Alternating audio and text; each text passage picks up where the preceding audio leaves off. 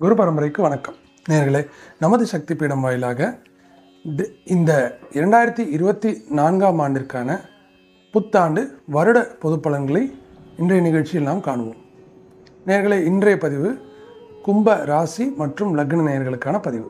வருட பலன்களுக்கு என்ன முக்கியத்துவம்னா இந்த வருடத்தின் நல்லது கெட்டது பாசிட்டிவான விஷயங்கள் நெகட்டிவான விஷயங்கள் சாதகமான காலங்கள் கொஞ்சம் சோதனையான காலங்கள் இப்படி எந்தெந்த அமைப்புகளில் இந்த வருடம் இருக்க போகுதுன்றதை நம்ம ரொம்ப விரிவாக இந்த பதிவின் மூலமாக ஆராயப்போகிறோம் அதனால் இந்த வீடியோ முழுசாக பாருங்கள் இதுக்கு நடுவில் நான் சில சில பரிகாரங்கள் சொல்லுவேன்.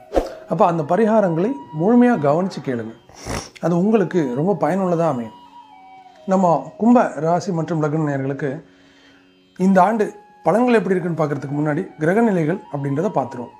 இது வரைக்கும் நீங்கள் நம்ம சேனலை சப்ஸ்கிரைப் பண்ணால் வீடியோஸ் எல்லாம் பார்த்துருக்கீங்கன்னா தவறாமல் சப்ஸ்கிரைப் பட்டனை கிளிக் பண்ணிவிட்டு பதிவுக்குள்ளே போயிடலாம். சரி. கும்ப ராசி சனீஸ்வரனோட மூலத்திரிகோண வீடு. ஸோ இந்த கும்பத்தில் இந்த ரெண்டாயிரத்தி இருபத்தி நாலு தொடக்கம் ஜனவரியில் கிரகநிலைகள் எப்படி இருக்குன்னு பார்த்துட்டிங்கன்னா உங்கள் ராசியிலேயே சனீஸ்வரன் மூல திரிகோண வலுப்பெற்று இருக்கார். இரண்டாம் இடமான மீனத்தில் ராகு. மூன்றாம் இடமான மேஷத்தில் குரு. இந்த ஜனவரி ஃபர்ஸ்ட் அன்னைக்கு வக்கர நிவர்த்தி அடைஞ்சு நேரான கதியில் இருக்கார். எட்டாம் இடமான கண்ணியில் கேது பன்னிரெண்டாம் இடமான மகரம் மற்றும் ஒன்றாம் இடமான கும்பத்திற்கு அதிபதி சனி ராசியிலே இருக்கார். அப்போது இது வந்து ஜென்ம சனி காலம் கரெக்ட்டுங்களா கும்பராசி லக்ன நேர்களுக்கு ஜென்ம சனியினுடைய தாக்கம் ஃபீல் பண்ணிகிட்டு இருப்பீங்க தெரியும். பல பல நேர்களுக்கு ஆட்டோமேட்டிக்காக தெரியும் ஜென்ம சனி வந்து என்ன நிலைமை அப்படின்ட்டு. மற்ற ராசிகளை கம்பேர் பண்ணும்போது கும்ப ராசிக்கு ஜென்ம சனி ஓரளவுக்கு கெடு பலன்களை குறைவாக கொடுக்கும். காரணம் என்னென்னா கும்பம் சனீஸ்வரனோட மூலத்திரிகோண வீடு.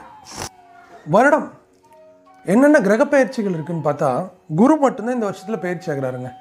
எப்போ பயிற்சி ஆகிறாருன்னு பார்த்துட்டிங்கன்னா மே மாதம் ஒன்றாந்தேதி பயிற்சி ஆகிறாரு எங்கேருந்து மூணாம் இடமான மேஷத்திலிருந்து நான்காம் இடமான ரிஷபத்திற்கு பயிற்சி ஆகிறாரு மற்றபடி ஜூன் மாதம் பத்தாம் தேதி சனி வக்ரம் அடைகிறார். எப்போ வரைக்கும்? நவம்பர் பத்து பாஞ்சு பாஞ்சு தேதி வரைக்கும் இருக்குது சரிங்களா? அதே போல் குருவும் வக்கரகதி அடைகிறாருங்க. அவர் எப்போ அடைகிறாருன்னா அக்டோபர் மாதம் பத்தாம் தேதி அடைஞ்சு அதுக்கப்புறம் அந்த வருஷம் முழுமைக்கும் நவம்பர் டிசம்பர் ஃபுல்லாக இருக்கிறார். ஸோ முக்கியமான கிரகநிலைகள் மாற்றங்கள் இதுதான் இந்த வருஷத்துக்கு. சரி இதனுடைய பலன்கள் எப்படி இருக்குன்றதை பார்த்துருவோம். கும்பத்திற்கு இந்த வருடம் என்ன மாதிரியான பலன்கள்னு பார்த்துட்டிங்கன்னா ரெண்டு முக்கியமான விஷயங்கள். இதுக்கு முன்னாடி ராகு கேதுக்களுக்கு உங்களுடைய லக்னத்துக்கோ முக்கியமான வீடுகளுக்கோ பெரிய பாதிப்புகள் ராகு கேதுக்களால் ஏற்படலை. இந்த ரெண்டாயிரத்தி இருபத்தி நான்காம் ஆண்டு ராகு கேதுக்கள் உங்களுடைய இரண்டாம் இடம் சொல்லக்கூடிய குடும்பம் தனம் மற்றும் வாக்கு பேசுகிற வார்த்தை. இரண்டாம் இடத்தில் அதாவது பணபரஸ்தானம் தனஸ்தானம்னு சொல்லக்கூடிய இரண்டாம் இடத்தில் இருக்கார். ஸோ இதுவரை மூன்றாம் இடத்துல இருந்த அந்த ராகு பகவான் இந்த இரண்டாயிரத்தி இருபத்தி நான்காம் ஆண்டு முழுமைக்குமே ரெண்டாம் இடத்துக்கு வந்துட்டார். ஸோ ராகுவினுடைய தன்மைகள் இந்த குறிப்பிட்ட வீடுகள் வழியாக பிரதிபலிக்கும். என்னென்ன? தனம். கையில் காசு புழங்குறதுல ராகுவுடைய கண்ட்ரோல் அதிகமாகிடும் குடும்பம். வீட்டில் குடும்ப நிலைகளில் ராகுவுடைய கண்ட்ரோல் அதிகமாக இருக்கும். ராகுவினுடைய காரகத்துவங்களை தொட்டால் டக்குன்னு அங்கே பாதிப்புகள் ஏற்படும். மூணு வாக்கு. பேசுகிற வார்த்தைகள். அதுலேயே ராகுவுடைய காரகத்துவங்களை நீங்கள் தொடும்போது நன்மைகள் நடக்கும். ஸோ இந்த மாதிரி அமைப்புகள். அது மட்டும் இல்லாமல் ராகுவுக்கு நேர் ஏழாம் இடத்தில் இருக்கக்கூடிய கேது அஷ்டமஸ்தானமான கண்ணியில் இருக்கார். ஸோ இந்த கேதுவினுடைய அமைப்புகளும் எட்டாம் இடத்து வழியாக கேது அதாவது எட்டாம் இடத்தினுடைய காரகத்துவங்கள் கேது என்ற கிரகத்தின் மூலமாக அல்லது அந்த கேதுவின் தன்மை மூலமாக கிடைக்கும். புரியுதுங்களா? இதுதான். அதே போல் விரய மற்றும் லக்ன அதிபதி அதாவது பன்னிரெண்டு மற்றும் ஒன்றாம் வீட்டுக்கு அதிபதியாக வரக்கூடிய சனி அவருடைய காரகத்துவங்கள் அந்த ஒன்றாம் வீட்டு காரகத்துவங்களும் பன்னெண்டாம் வீட்டு காரகத்துவங்களும் சனி வாயிலாக கிடைக்கும். புரியுதுங்களா? அது மாதிரி ரெண்டு மற்றும் பதினொன்று அப்படின்னு சொல்லக்கூடிய ரெண்டு தனஸ்தானங்கள் அதாவது பணபரஸ்தானம் ஒன்று தனம் இன்னொன்று லாபம். ரெண்டாம் இடம் தனஸ்தானம் பதினொன்றாம் இடம் லாபஸ்தானம். இந்த ரெண்டு வீடுகளுக்கும் அதிபதியாக வரக்கூடிய குரு பகவான் முதல் நான்கு மாதங்கள் மூன்றாம் இடத்திலும் பிறகு ஏழு மாதங்கள் நான்காம் இடத்திற்கும் போகிறாங்க ஸோ இதுதான் அமைப்பு. இப்போ என்ன மாதிரியான பலன்கள் பேசுகிற வார்த்தைகளில் தெளிவு இருக்கணும். கரெக்டாக பேசணும். இல்லாததை பேசிடக்கூடாது. அதாவது பிஸ்னஸில் ஒர்க்கிலலாம் சிலர் ஓவர் கமிட்மெண்ட் கொடுப்பாங்க தெரியுமா? சார் முடிச்சு கொடுத்துடலாம் சார் வீடு தானே இன்னொரு அஞ்சு மாதம் சார் முடிச்சிடலாம் அப்படின்வாங்கல்ல அந்த மாதிரி கமிட்மெண்ட் கொடுக்கும்போது உங்களால் ஆக்சுவலாக ஒரு ஆறு மாதத்துக்குள்ளே முடிச்சிட முடியும்னா ஒரு மூணு மாதம் சேர்த்து சொல்லுங்கள் ஏன்னா இந்த டைமில் கண்டிப்பாக இழுக்கும். உங்கள் வார்த்தையை நீங்கள் காப்பாற்ற முடியாமல் போயிடும். அதனால் கொஞ்சம் கேப் வச்சு சொல்லுங்கள் வார்த்தை கொடுக்கும்போது பணம் கட்டிடுவேன் சார் ஜூன் மாதம் கட்டிடுவேன் அப்படின்னா ஒரு ஆகஸ்ட்டு அந்த டைமில் கட்டுறேன்னு சொல்லுங்கள் ஏன்னா நீங்கள் எதிர்பார்த்த இடத்துல வராமல் போயிடும். அப்போது வாக்கு. எந்த விஷயத்துலையும் ஒரு கமிட்மெண்ட் கொடுக்கும்போது எச்சரிக்கையோடு இருங்க. கமிட்மெண்ட்டு முக்கியம். ஏன்னா ராகு என்ன பண்ணுவார்னா சார் கண்டிப்பாக முடிச்சு கொடுத்தேன் சார் சொல்லும்போது அப்படியே பார்க்கலாம். அப்படின்னு சொல்லி ஒரு சேலஞ்ச் கொடுப்பாரு. திடீர்னு எதிர்பாராம. அப்போ என்ன பண்ணணும் நம்ம? நம்மளால் இந்த காலகட்டத்துக்குள்ளே முடிச்சிட முடியும்னு நல்லா தெரிஞ்சால் கூட நம்ம ஒரு மூணு நாலு மாதம் கொஞ்சம் எக்ஸ்ட்ராவாக சேஃப்டிக்காக சொல்கிறது தான் நல்லது. அதுதான் இந்த டைமில் கும்பராசி லக்னக்காரங்க செய்ய வேண்டிய முக்கியமான வேலை. பணம் கொடுக்கல் வாங்கல். யாருக்கும் பணம் கொடுத்து விரோதத்தை சம்பாதித்து கொள்ளாதீர்கள். அண்டர்லைன். நூறுரூபானாலும் கொடுத்தீங்கன்னா சண்டை வரும். ஐயாயிரம் ரூபாய் அஞ்சு லட்ச ரூபா ஐம்பது லட்ச ரூபானாலும் கொடுத்தீங்கன்னா சண்டை வரும். சண்டை வரும்னா அடிதடி அப்படி தான் இல்லை. ஒரு ஒரு மிஸ் அண்டர்ஸ்டாண்டிங் ஒரு மனஸ்தாபம் கூட வரும். புரியுதுங்களா? கடைசியாக என்ன ஃபீல் ஆகும்னா இவன் கொடுத்துடக்கூடாது நான் தெரியாமல் அதை பண்ணிட்டேன் அப்படின்ற ஃபீல் உங்களுக்கு வந்துடும் புரியுதா? இதான் நிலைமை. வாக்கு சொல்லிட்டேன் தனம் சொல்லிட்டேன் குடும்பம். உங்களுடைய குடும்ப உறுப்பினர்கள்ட்ட முடிஞ்ச அளவுக்கு நல்ல இணக்கமாக போக பாருங்கள் ஆனால் அட் த சேம் டைம் ஒரு ஒரு மெல்லிய கோடு ஒன்று போட்டுக்கிட்டு அந்த கோட்டை தாண்டாமல் இருங்க. அதாவது உதாரணத்துக்கு நீங்கள் உதவி செய்கிறது ஓகே ஆனால் ஒரு அளவுக்கு மேலே போய் உதவி செஞ்சீங்கன்னா இவன் எதுக்கு நம்மகிட்ட இவ்வளோ இதாக ஒட்டுறான் இதை எதிர்பார்ப்பானோ அப்படின்ற மாதிரி அண்ணன் தம்பிக்குள்ளேயே பிரச்சனை வர வாய்ப்பு இருக்குது ஸோ குடும்பம் அதாவது குடும்பம்னா யாருங்க? உங்களுடைய ரத்த சொந்தங்கள் உங்களோட க்ளோஸ் ரிலேட்டிவ்ஸ்னு சொல்லுவோம்ல. நெருங்கின உறவுகள் அவங்கள தான் இப்போ இந்த குடும்பம்னு சொல்ல போகிறோம் புரியுதா? இப்போ அவர்களுடனான உறவில் கவனம். இது ராகு விஷயத்தில். சார் கவனம்னா என்ன சார் சார் ஒன்றும் இல்லை சார் ராகு ஒரு நிழல் கிரகம் இருள் இருள் சூழ்ந்த கிரகம்.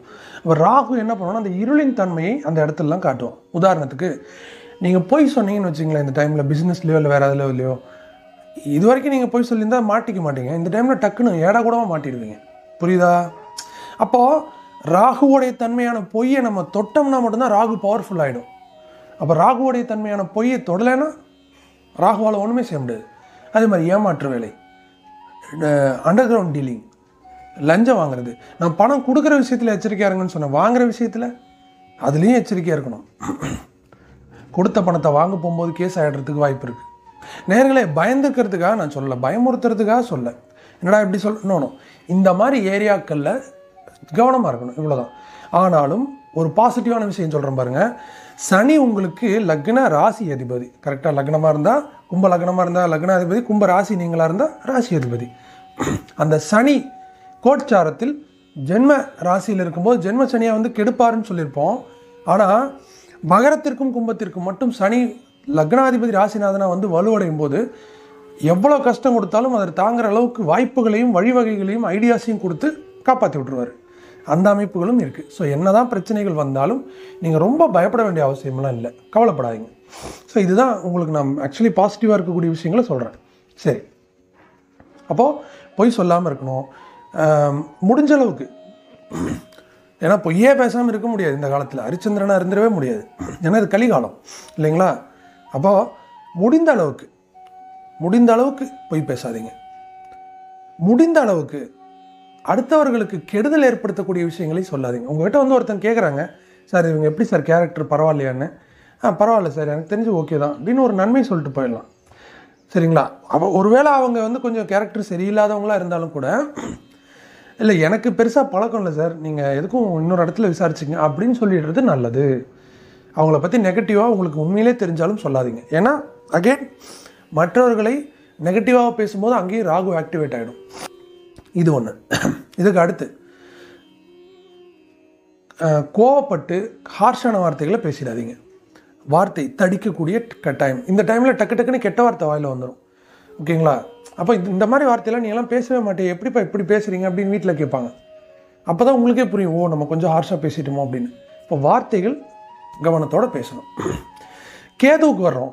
எட்டாம் இடம் இடுப்புக்கு கீழ் பகுதி பின் இடுப்பு இந்த உட்கார இடம் தொடைப்பகுதி இந்த தொடை வந்து சேர்ற இடம் இந்த மாதிரி இடங்களில் கொப்பளமோ கட்டியோ அல்லது ஏதோ ஒரு வகையில் வலி வேதனைகளோ ரத்தக்கட்டோ இந்த மாதிரி விஷயங்கள் ஏற்படலாம். ஜீரண உறுப்புகள் அதாவது கழிவு உறுப்பு சொல்லுவோம்ல குடல் பித்தப்பை யூட்ரஸ் இந்த மாதிரி கழிவு உறுப்புகள் அதுலேயும் சில பல நோய் தொற்றுகள் வரலாம். அப்படின்னா நிறைய தண்ணி குடிக்கணும். நிறைய தண்ணி குடிக்கணும். அதாவது ஒரு நாளைக்கு ஒரு நாலஞ்சு லிட்டர் தண்ணியாக நீங்கள் குடிக்கணும். சரிங்களா? அதை நல்லா கவனமாக நோட் பண்ணிக்கோங்க. இந்த எட்டாம் இட காரகத்துவம் கேதுன்னு வரும்போது நல்ல தெரிந்த நபர்களால் முதுகில் குத்தப்படக்கூடிய வாய்ப்புகள் இருக்குது அப்போது கூட இருக்காங்க இல்லையா? ரொம்ப க்ளோஸ் ஃப்ரெண்ட்ஸு ரிலேட்டிவ்ஸு இந்த மாதிரி இருக்காங்களே இவர்கள்கிட்ட சற்று கவனமாக இருக்கணும். சார் யாருக்கிட்டேன்னு சார் கவனமாக இருக்கிறது? யார் முதல்ல குத்துவான்னு தெரிஞ்சால் கவனமாக இருக்கலாம். தெரியாமல் அதுக்கு என்ன பண்ணும் விநாயகரை கும்பிடணும். விநாயகருக்கு எருக்கம்பூ மாலை சாற்றி புதன்கிழமைகளில் வழிபாடு செய்யணும். புரியுதுங்களா? இதான் நீங்கள் செய்ய வேண்டிய ஒரு முக்கியமான வழிபாடு. முகம் தெரியாத நபர்கள் உங்களை ஏமாற்றக்கூடிய அமைப்புகள் இருக்கக்கூடிய நபர்களை அந்த முதுகில் குத்தப்படக்கூடிய அமைப்பிலிருந்து உங்களை காக்கும். இது ஒன்று சார் சனி சனி ஏழாம் பார்வையாக ஏழாம் இடத்தை பார்க்குறாரு. நீண்ட காலமாக திருமணமாகாமல் இருக்கக்கூடிய முப்பது வயசுக்கு மேலே இருக்கக்கூடிய நேயர்களுக்கு சனி வக்கரமடையும் காலம்னு ஒன்று இருக்குல்ல ஜூன் டு நவம்பர் அந்த டைமில் திருமணம் ஆகிறதுக்கு வாய்ப்பு இருக்குது ஆனால் எல்லா கும்பராசினியர்களுக்கும் ஆகிடாது உங்களுக்கு ஏழாம் இடத்திற்கோ ஜ லக்னம் அல்லது ராசிக்கோ உங்கள் ஜனன ஜாதகத்தில் சனி பார்வையோ சேர்க்கை இருந்தால் மட்டும்தான் இந்த அமைப்பு நடக்கும். புரியுதுங்களா? சரி இது ஒன்று திடீர் பணவரவு ஏற்படும். ஏன்னா ராகு ரெண்டில் வரும்போது கெடுக்க மட்டும் செய்வார் கொடுக்கவும் செய்வார். கெடுக்கிறது மட்டும் இல்லை அவர் வேலை. சில நேரங்களில் வாரி வழங்கிடுவார். அதாவது திடீர்னா எதிர்பார்க்காத அளவுக்கு அதிக பணம். திடீர்னு. இந்த கண்ணுக்கு தெரியாத விஷயங்கள்னு சொல்லலாம் ஷேர் மார்க்கெட்டு லாட்ரி டிக்கெட்டு இந்த மாதிரி விஷயங்கள் மூலமாக பணம் வரவு ரொம்ப உழைக்க வேண்டியதில்லை. ஆனால் காசு வந்துருச்சு. அந்த மாதிரி விஷயங்கள். புரியுதுங்களா? ஸோ பண வரவை திடீர்னு ஏற்படுத்துவார் ராகும் சரிங்களா? அதே மாதிரி கேது எட்டாம் இடத்துக்கு வரும்போது இந்த இரவு நேரங்களில் இந்த உங்களுக்கு பழக்கம் இல்லாத காட்டு வழி பாதைகள்லாம் போகும்போது பூச்சி பூச்சி புழுக்கள் இருக்கக்கூடிய அமைப்புகளை கொஞ்சம் பார்த்து போங்க புரியுதா? அதாவது சின்ன சின்ன பூச்சி புழுக்கள் கடிக்கிறதுக்கு வாய்ப்பு இருக்குது பைரவ வழிபாடு. நான் விநாயகர் சொன்னேன் அது அவமானங்கள் முதுகில் குத்தப்படுறதுலேருந்து காப்பாற்றுறதுக்கு மொத்தமாக உங்களுடைய மொத்த ஜாதகத்துக்கும் ஒரு பெரிய ப்ரொடெக்ஷன் அப்படின்னா பைரவர் வழிபாடு தேய்பிரை அஷ்டமி அன்னைக்கு கும்ப ராசி லக்ன நேயர்கள் கண்டிப்பாக செய்யணும். முடிஞ்சால் சண்ட பைரவ யந்திரம். அதை வாங்கி வீட்டில் சாத்வீகமான முறையில் வழிபாடு பண்ணுங்கள் சரிங்களா? ரொம்ப பெரிய காவல் அது. இதுவும் சிறப்பு. மற்றபடி நான்காம் இடத்திற்கு குரு மே மாதத்தோட போயிடுறதுனால கல்வி மே மாதத்திற்கு பிறகு சூப்பராக இருக்கும். மே மாதம் வரைக்கும் கொஞ்சம் ஆவரேஜாக இருக்கும். பிள்ளைகள் விஷயத்தில் கவலைப்படாதீங்க நல்லா இருப்பாங்க. பிள்ளைங்களாம் நல்லா அவங்க வாழ்க்கை படிப்பு மற்ற விஷயங்கள் சரி நல்லா போயிட்டுருக்கும். அதே போல் காதல். காதல்லையும் எந்த பிரச்சனையும் இல்லை. சுமூகமாக போகும். மன வாழ்க்கையும் திருப்திகரமாக போகும். ஆனால் உங்கள் ராசியில் சனியிருந்து ஏழாம் இடத்தை பார்க்குறதுனால ரீசண்டாக கல்யாணம் ஆனவங்களுக்கு சின்ன சின்ன புகைச்சல்கள் வர வாய்ப்பு இருக்குது சரியா? அதே மாதிரி ஆல்ரெடி கணவன் மனைவிக்குள்ளே ஒரு நெகட்டிவ்ஸ் எல்லாம் இருக்குது மிஸ் அண்டர்ஸ்டாண்டிங்லாம் இருக்குது அப்படின்னா நீங்கள் வந்து அதிகமாக விட்டு கொடுத்து போகணும். தேய்பிரை அஷ்டமி அன்னைக்கு மன கனவி கணவன் மனைவி ரெண்டு பேரும் பைரவருக்கு போயிட்டு வாசனை பொருட்கள் கொடுங்க. சந்தனம் அல்லது புனுகு கோரோஜனை அல்லது இந்த மாதிரி ஏதாவது குங்குலியோ குங்குலியம் சாம்பிராணி இந்த மாதிரி வாசனை பொருட்களை பைரவருக்கு கொடுங்க. பூஜை பண்ணுவாங்கள்ல அபிஷேகம். அப்போ அந்த அபிஷேகத்தில் உங்களுடைய ஒரு க பார்ட்டிசிபேஷன் மாதிரி கொடுத்துருங்க. இது ஒரு சிறப்பு. அதே போல் இந்த காலகட்டம் தொழில் சொந்த தொழில் பண்ணிட்டு இருக்கக்கூடிய நபர்களுக்கு தொழிலில் சற்று நிதானமாக பெரிய முடிவுகளை எடுக்காமல் பெரிய புது மாற்றங்களை ஒன்றும் புகுத்தாமல் இருக்கிறத அப்படியே கொண்டு போயிட்டுருங்க. நேர்மையாக உழைச்சிங்கன்னா தொழிலில் எந்த பாதிப்பும் வராது. வேலைவாய்ப்பில் மாத வேலை மாதச்சம்பள வேலைகள் இருக்கிற ஐடி தொழிலாளர்கள் மற்ற தனியார் துறை மற்றும் அரசு துறைகளில் இருக்கக்கூடிய நபர்களாக இருந்தீங்கன்னா உங்களுக்கான வாய்ப்புகளும் நிச்சயமாக பிரகாசமாக இருக்கும். காரணம் என்னென்னா சனியே வந்துட்டு வேலையாள் ஜீவனக்காரகன். அப்படிப்பட்ட சனி கும்பத்திலேருந்து உங்களுடைய பத்தாம் வீட்டை தன்னுடைய பார்வையில் வச்சுருக்காரு. சரிங்களா? ஸோ நேர்மையாக உங்களுக்கு கொடுத்த வேலையை கடினமாக உழைச்சிங்கன்னா கண்டிப்பாக உங்களுக்கு நல்ல பேர் வரும். கவலைப்படாதீங்க. சின்ன சின்ன கசப்பான சம்பவங்கள் வேலை பார்க்குற இடத்துல வந்தாலும் கூட இந்த காதில் வாங்கி இந்த காலை விட்டுருங்க. இந்த வருஷம் முடிகிற வரைக்கும் நீங்களாக எந்த ரியாக்ஷனும் கொடுக்க நான் வேலையை விட்டு போகிறேன் நான் அதை பண்ணுறேன் இதை பண்ணுறேன்னு சண்டை கிண்டெல்லாம் போட்டுக்காதீங்க. அப்படியே கொண்டு போங்க. புரியுதுங்களா? முதியோர். நான் சொன்ன மாதிரி பைரவர் வழிபாடு இவங்களுக்கும் ரொம்ப நல்லது. எதுக்குன்னா இந்த டைமில் மரண பயத்தை போக்கும். அல்லது பே- தேவையற்ற நோய் வந்துடுச்சு நான் சீக்கிரமாக போயிடுவேன் அப்படின்ற மாதிரி அந்த இல்லாத ஒன்று இருக்கிறத உருவாக்கிக்கிட்டு கவலைப்படக்கூடிய அந்த விஷயத்தை போக்கிடும் சரிங்களா? விவசாயத்தை பொறுத்த வரைக்கும் நல்லா உழைச்சி கடுமையாக உழைக்கணுங்க. சும்மா எளிமையாக காசு வந்துடாது கடுமையாக உழைச்சி விவசாயமே உழைப்பு தானே சார். ஆமாம் பட் உங்கள் பக்கத்து விவசாயிகள் உழைக்கிறத விட நீங்கள் ஒரு பங்கு சேர்த்து உழைச்சாதான் அவங்களுக்கு இணையான லாபம் இந்த காலகட்டத்தில் வரும். அந்த மாதிரியான கிரகநிலைகள் தான் இருக்குது பார்த்து கரெக்டாக இருந்துக்குங்க. அரசு உயர் பதவிகள் மற்றும் அரசியல் துறைகளில் இருக்கக்கூடிய நபர்களுக்கு எச்சரிக்கையோடு இருக்க வேண்டிய காலம் வருஷம் முழுமைக்குமே. புரியுதுங்களா? அதுலேயும் குறிப்பாக ஜூன்லேருந்து நவம்பர் முதல் வாரம் வரைக்கும் சற்று கவனமாக இருக்கணும். புரியுதுங்களா? பொதுவெளி பொதுமக்கள் கிட்ட கெட்ட பேர் வாங்கிக்க கூடாது. அடக்கி வாசிக்கணும். வெளிநாடு போக்குவரத்துக்காக வெயிட் பண்ணிட்டு இருக்கக்கூடிய நபர்களாக நீங்கள் இருந்தீங்கன்னா இந்த வெளிநாடு வாய்ப்புகள் உங்களுக்கு சற்று தாமதமாக செகண்ட் ஹாஃபில் ஏற்படுறதுக்கு வாய்ப்பு இருக்குது சரிங்களா? அப்போ செகண்ட் ஹாஃபில் ஏற்படும் போது என்ன ஆகும்னா உங்களுடைய பன்னிரெண்டாம் இடத்திற்கு குரு பார்வை வந்துடுது செகண்ட் ஹாஃப்னா என்ன? மே மாதத்துக்கு பின்னாடி. இப்போ அந்த பன்னிரெண்டாம் இடம் சொல்லக்கூடிய தூர தேச அந்நிய நாடுகளுக்கான பிரயாணங்கள் வலுவடையும். ஸோ இதுதான் அந்த அமைப்பு. கலைத்துறை மற்றும் சினிமா துறை சார்ந்த நபர்களுக்கு மற்ற YouTube cinema drama music arts இந்த மாதிரி கலை சார்ந்த துறைகளில் இருக்கிற எல்லாத்துக்குமே உங்கள் துறைகளில் வளர்ச்சி சிறப்பாக இருக்கும். ஆனாலும் தவறான நபர்கள்கிட்ட கொஞ்சம் எச்சரிக்கையாக இருங்க. புரியுதுங்களா? ஏன்னா அவர்கள் உங்கள் பேரை கெடுக்க வாய்ப்பு உங்கள் உழைப்பை திருட வாய்ப்பு இருக்குது சிறப்பாக இருக்குங்க. வேல்யூபிளான பொருட்கள் பர்ஸு செயின் இந்த மாதிரி விஷயங்களை போட்டுட்டு போகிறவங்களா இருந்தீங்கன்னா கொஞ்சம் அந்த பொருட்கள் மேலே சற்று கவனம் வைங்க. மிஸ் பண்ணுறதுக்கு வாய்ப்பு இருக்குது சரிங்களா? மற்றபடி ஒன்றும் பெருசாக நோய் தாக்குதலோ ரொம்ப பெரிய ஹாஸ்பிட்டலைஸ் ஆகிறது அந்த மாதிரிலாம் ஒன்றும் கிடையாது. பயப்பட வேண்டாம். சரிங்களா? ஓரளவுக்கு மற்ற விஷயங்கள்லாம் நல்லா தான் இருக்குது இந்த காலகட்டத்தில் நீங்கள் வணங்க வேண்டிய அதிர்ஷ்ட தெய்வம் பைரவர் மற்றும் விநாயகர். அனுகூலமான எண்கள் எட்டு பதினேழு இருபத்தாறு. ராசியான நிறம் கருப்பு மற்றும் சாம்பல். அனுகூலமான திசைகள் தென்மேற்கு மற்றும் மேற்கு திசை. நேர்களை இந்த காலகட்டம் நான் சொன்ன இந்த பரிகாரங்களை செய்து இந்த குறிப்பிட்ட சூக்ஷ்மங்களை உபயோகப்படுத்தி வெற்றி பெறுங்கள். இப்போ நான் சொல்லியிருக்கிற விஷயங்கள்லாம் உங்களுக்கு ஓரளவுக்கு ஒத்து போச்சுன்னா அல்லது உங்களுக்கு தெரிஞ்ச ஃப்ரெண்ட்ஸ் ரிலேட்டிவ்ஸ் கும்பராசிக்காரங்க இருந்து அவங்களுக்கு ஒத்து போச்சுன்னா கமெண்ட்ஸில் போடுங்க சார் எங்களுக்கு இது ஒத்து போகுது என் ஃப்ரெண்டுக்கு இது ஒத்து போச்சு அப்படின்ற மாதிரி.